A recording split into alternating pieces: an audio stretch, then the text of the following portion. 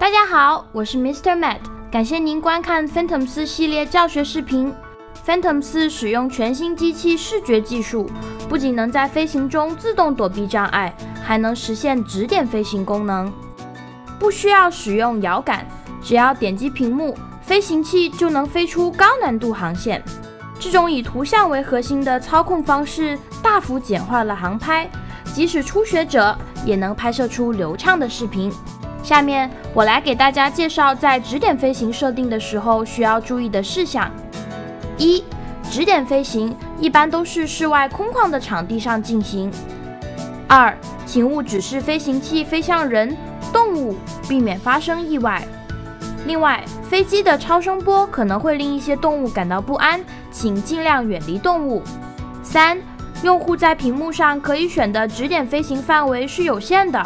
在靠近操作界面的上部或下部边缘区域，点击时可能无法进行指点飞行。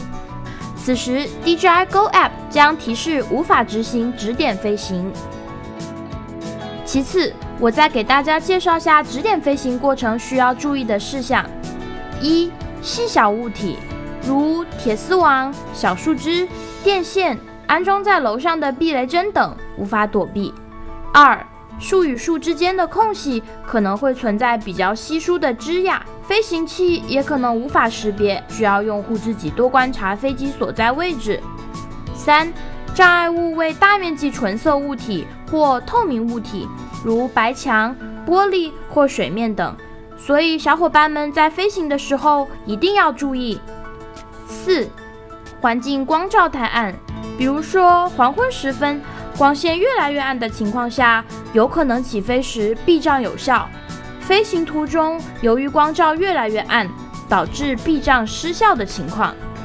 五、标定参数有偏差，前视感知摄像头有灰尘，App 提示之后依然没有重新标定或者清理，继续飞行。六、避免在复杂环境中使用指点飞行。